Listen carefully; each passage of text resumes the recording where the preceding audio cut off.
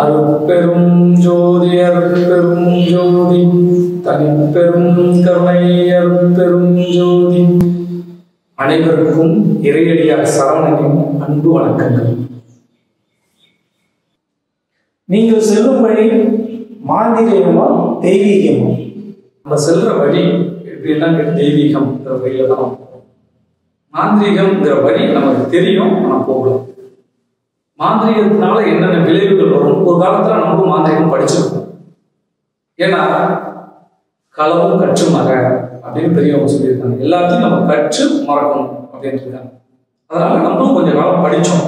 படிச்சு அதுல என்ன பிரச்சனை அப்படின்னு கேட்டீங்கன்னா அதுல நிறைய தேவதைகளை வந்து சித்தி பண்ணுவாங்க. அந்த தேவதை தேவதைகளை சித்தி பண்ணி அதை மனசுல வச்சுக்கிட்டு அவங்க குறி சொல்ல சொல்ல இவங்க சொல்லுவாங்க. ஸோ இது போல வந்து நிறைய சித்து வேலைகள் நிறைய இருக்கும். அவங்களுக்கு வந்து ஸோ இது நம்ம நடந்துட்டு இருக்கோம். இது மூலியமா நன்மை செய்யறவங்களும் இருக்காங்க தீமை செய்யறவங்களும் இருக்காங்க. ஒரு மாந்திரிகவாதி சொல்றது. அவங்க என்ன செய்யற மாந்திரிகவாதி என்ன பண்றாரு? ஒரு கடுமையா ஒரு ஒரு லட்சத்தெட்டு டைம் ஒரு ஒரு துஷ்ட தேவதனுடைய மந்திரத்தை வந்து உச்சாரணம் பண்ணி அதை வந்து சித்தி பண்றாரு. சித்தி பண்ணப்போ அந்த தேவதை வந்து ஒரு பன்னெண்டு வருஷத்துக்கு அவர் சொல்ற பேச்சு கேட்கும். நான் பன்னெண்டு வருஷத்துக்கு உன் கூட இருப்பேன் நீ சொல்றதெல்லாம் கேட்பேன் அதுதான் வந்து ரூல்ஸ். ஒரு சில விஷயம் வந்து பாத்தீங்கன்னா ஒரு அவங்க அவங்க- அவங்களுடைய மந்திர சித்தி அளவுக்கு அந்த காலநிலை வந்து வேறுபடும்.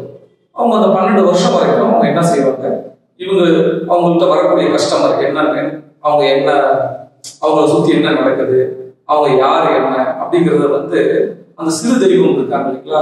அவங்க வந்து சொல்லுவாங்க. முதல்ல இந்த சிறு தெய்வங்கள்லாம் யாரு? அப்படின்னு கேட்டீங்கன்னா அவங்க நம்மள மாதிரி ஒரு ஆன்மா இறந்து அதாவது இறக்கும்போது நல்ல வந்து ஒரு இறை நம்பிக்கை அதிகமா இருந்து இறந்து போவாங்க. அவங்களுக்கு வந்து இயற்கையாவே ஒரு பவர் இருக்கும். அவங்கள வந்து இவங்க சித்தி பண்ணிப்பாங்க. இதான் அந்த முனீஸ்வரன் வீரன். இவங்கெல்லாம் வந்து ஒரு இறை நம்பிக்கையில ரொம்ப ஆழமா இருந்திருப்பாங்க. ஒரு நல்ல வாழ்ந்திருப்பாங்க. அவங்களுக்கு இறைவன் வந்து ஒரு சில இதை வந்து நீ கொஞ்ச காலம் இந்த எனக்கு இங்க வாழணும் இறைவா ஆசை இறைவா என் மக்கள் எல்லாம் பாதுகாப்பு இறைவா எனக்கு அந்த இதை புரிய இறைவா அப்படின்னு சொல்லி அவங்க வந்து இறைவன்கிட்ட கேட்டிருப்பாங்க. சரி பண்ணிக்க அப்படின்னு. ஆனா அவங்கள ஒரு வழிகாட்டியாகவோ அவங்களை எப்படி நம்ம எடுத்துக்கணும்? அவங்கள வந்து நம்ம ஒரு வழிகாட்டியா எடுத்துக்கணும். அல்லது அவங்கள வந்து நம்ம வந்து எப்படி எடுத்துக்கலாம்னு கேட்டீங்கன்னா ஒரு குருவா எடுத்துக்கலாம். அவங்களை இப்ப இறைவனா எடுத்துக்க கூடாது. அங்கதான் நம்ம ஒரு வழிகாட்டியா அவங்க எடுத்துக்கலாம். நம்ம குடும்பத்துக்கு வழிகாட்ட ஒரு வழிகாட்டியா எடுத்துக்கலாம். ஒரு குருவா எடுத்துக்கலாம். ஒரு ஆசானா எடுத்துக்கலாம். ஒரு ஆச்சாரியனா எடுத்துக்கலாம். ஆனா வந்து அவங்க இறைவனா நம்ம என்ன செய்யக்கூடாது? ஏத்துக்க கூடாது காரணம் என்னன்னு கேட்டீங்கன்னா இறைவன் ஒருவன் தான். இதைதான் எல்லா வேதங்களும் எல்லா இதுவும் சொல்லுது. இவங்க அந்த மாந்திரீகத்துல ஒவ்வொரு தெய்- அது மாதிரி இருக்கக்கூடிய ஒவ்வொரு தெய்வத்துக்கும் ஒவ்வொரு வசிய மந்திரம் ஒவ்வொரு இதை வந்து சித்தர்கள் என்ன செய்யறாங்கன்னு கேட்டீங்கன்னா அவங்க வந்து பண்ணி வச்சிடுறாங்க. அது வந்து எதுக்காக அப்படின்னு கேட்டீங்கன்னா அவங்களுக்கு கொஞ்சம் ஒரு சில நன்மைகளுக்காக ஒரு சில விஷயங்களுக்காக. அது பல காரணங்கள் இருக்கு. அதை எல்லாத்தையும் நம்ம சொல்லிட்டு இருக்க முடியாது. அவங்க அதுக்காக வேண்டிய அந்த விஷயங்கள் எல்லாம் வந்து அவங்க பண்ணி வச்சிருக்காங்க. ஸோ அதை வந்து அவங்க அந்த மாதிரி நிறைய மந்திர நூல்கள் வந்து எல்லாம் பண்ணி வச்சிடுறாங்க அதுக்காக ஒரு பன்னெண்டு வருஷம் அவங்களுக்கு கட்டுப்படுது. அந்த பன்னெண்டு வருஷத்துல அவங்களுக்கு நிறைய பணம் வருது பேர் வருது புகழ் வருது. அது நிறைய தப்பு பண்ண நிறைய தப்பு செய்ய ஆரம்பிப்பாங்க இந்த பேர் புகழ் வர்றதுனால பணம் நிறைய வர்றதுனால என்ன செய்யும்? தப்பு செய்ய ஆரம்பிப்பான் தப்பு செய்யும் போது அந்த தேவதைக்கு பிடிக்காது. அந்த பர்டிகுலர் தேவதைக்கு அவன் தப்பு தவறு செய்யறது பிடிக்காது. அந்த பன்னிரெண்டு வருடம் வரைக்கும் அவனுக்கு பல்ல கடிச்சுக்கிட்டு அதாவது சொல்லுவாங்கல்ல செஞ்சோற்று கடன் தீர்க்க சேராத இடம் சேர்ந்து வஞ்சத்தில் வீழ்ந்தாயடா கர்ணாங்கிற மாதிரி அந்த தேவதைகள் என்ன செஞ்சிருக்காங்க? அவங்களுடைய அந்த மந்திரங்கள் சொல்லும்போது அதுக்கு நிறைய உயிர் கிடைக்குது. காலம் நல்லா அவங்களுக்கு வந்து ஒரு ஆற்றல் கிடைக்குது. அந்த மந்திரங்கள் தான் வந்து அவங்களுக்கு சாப்பாடு. அதை வந்து அவங்க கொடுத்துடுறாங்க.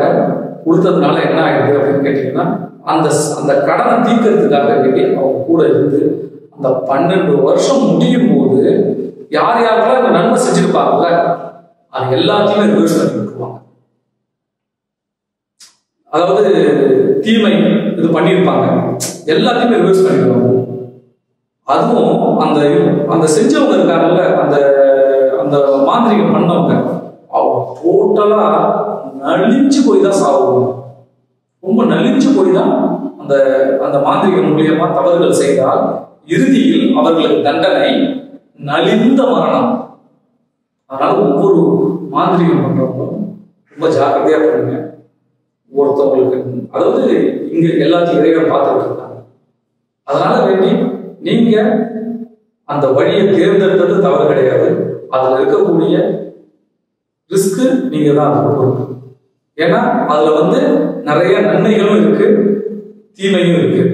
ஒரு சில விஷயங்கள் வந்து செய்ய தெரியாம செஞ்சீங்கன்னா அது அப்படியே ரிவர்ஸ் ஆயிடும் கொஞ்சம் தப்பு பண்ணாலும் ரிவர்ஸ் ஆயிடும் ரிவர்ஸ் ஆச்சுன்னா முடிச்சிருந்தவன். அந்த ஸ்பாட்லயே ஒரு சில பேர்லாம் எவ்வளவு பேர் இருக்காங்க. நிறைய பேர் செய்ய போறேன் அப்படின்னு போயிட்டு அறகுறையா செஞ்சு நிறைய பேர் இறந்து போனவங்களும் இருக்காங்க பைத்தியம் முடிச்சவங்க இருக்காங்க. ஒரு ஒரு அறமெண்டலானவங்க இருக்காங்க. ஸோ இந்த மாதிரி பல விதத்துல வந்து இதாயிருக்காங்க. அதனால இந்த மாந்திரீகம்ங்கக்கூடிய வழி வந்து பாத்தீங்கன்னா அது வந்து இறைவனுக்கு அது உகந்த வழி இல்லை தெய்வீகம் அப்படிங்கிறது நம்ம நம்ம எடுத்துக்கிட்ட வழி என்னன்னு கேட்டீங்கன்னா முழுக்க முழுக்க ஏழை இறைவன் துணை கொண்டு குருவினுடைய ஏழை இறைவனை ஏழை இறைவனிடம் இறைவனிடம் அங்கீகாரம் பெற்ற பயிற்சியை வந்து நம்ம பண்ண பண்ணிக்கிட்டு இருக்கோம்.